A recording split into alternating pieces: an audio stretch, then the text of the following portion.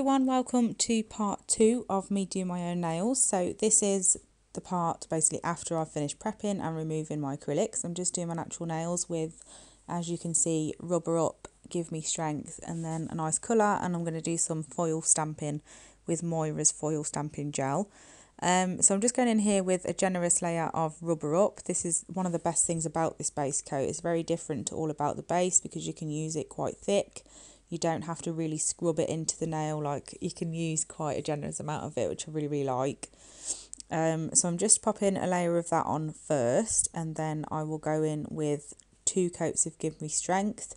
I do do pretty much two coats of coats of everything I use in this video, but I don't show you two coats of everything just because I don't want to be looking like I'm teaching you to suck eggs. Like you can see that I'm painting my nails. I don't have to watch me do it loads and loads of times. So I'm just going to finish off now just doing rubber up, making sure that at the very end I'm taking off as much off my brush as I can and then capping the free edge of all five nails. This one here, my little finger, is not looking so good. You all know that already if you've seen the soak off video, but yeah, it's not, it's not great. I'm just going to wait for that to grow out.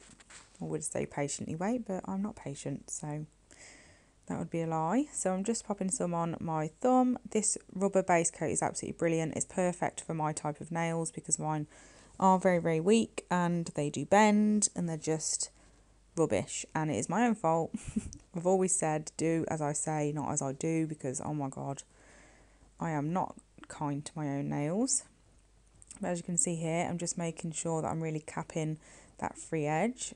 It's an awkward angle because I was looking kind of under my phone to be able to do it, so it's not great. Apologies for that. And then for this one, because it is so short, instead of trying to cap it the same way as would do the others, I just go backwards on the nail and then just make sure that there isn't any left on the skin. Remove that if necessary, as you can see here. So I'm just going in with Give Me Strength, which is a structure gel. I'm just popping a coat of that on. I did do two coats of this, but I only showed one, um, just because I applied the second coat the exact same way as I applied the first. So I didn't think you'd want to watch me do it again.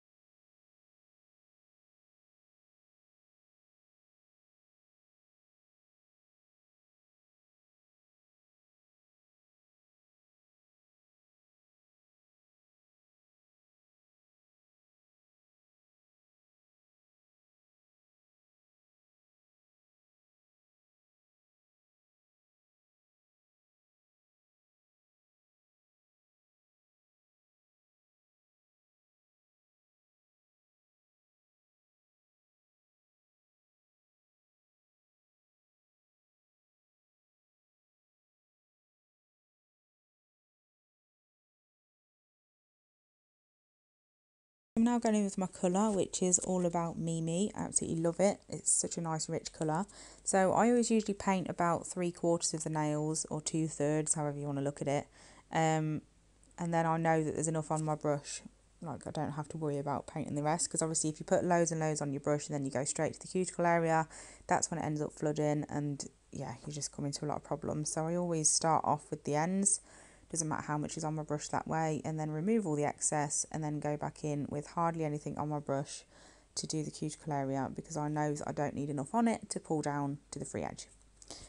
And then once I've done that on all five nails, I'll do the same again with the capping. I will make sure there is hardly anything on my brush so I don't have a little pull at the tip and making my free edge look really thick and then I will cap that way. I obviously also did two coats of colour on the nails as well, but I only show you me painting one because again, it's not really that exciting to watch. So yeah, there is two coats of colour on there. I did quite well with painting them until this nail, got it everywhere. But it cleaned up pretty easily, so it's fine.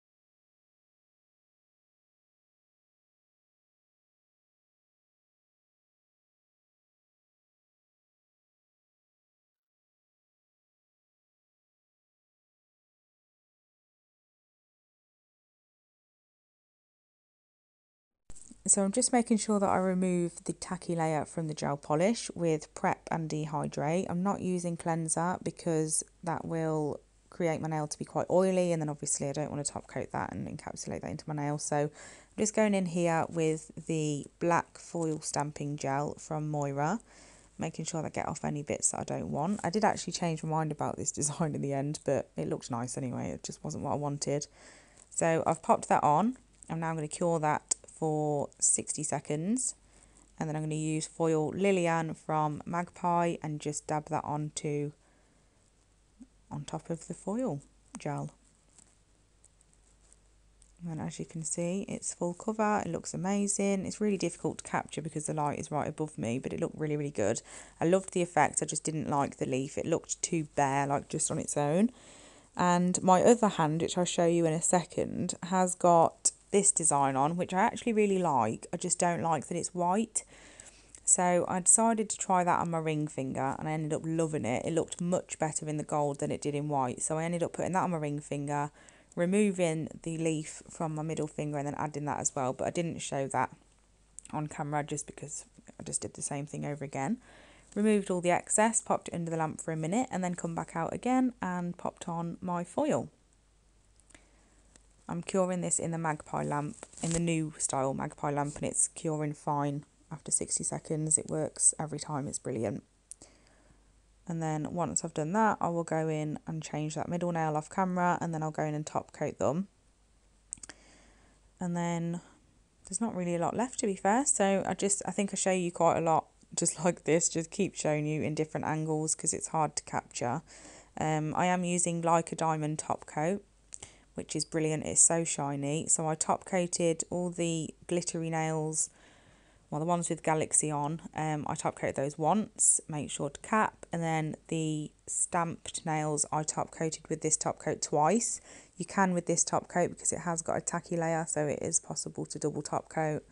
Obviously if I was using don't be tacky then it would be impossible. So I would use a top coat like shine bright or like a diamond and then don't be tacky on top but this time I just used two coats of like a diamond. Um, and then at the very end I show you me just really really really gently giving my nails a quick file just to make sure they're all in shape. Um, I don't know why I do it. I only do it with my own nails but I just always have the urge to just file them again and I don't know why. Um, but yeah don't file them enough to break the seal between all of the gel. I don't really the file that I use for my own nails is quite old now and it doesn't really have a lot of grit left so it works absolutely fine for that.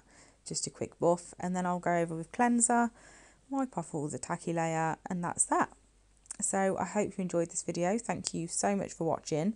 Um, and yeah I'll be back soon with the next video which I think is going to be a haul of a mixture of different items. So I hope you can join me for that. If you haven't already please subscribe and hit the notifications bell and I'll be back soon. Bye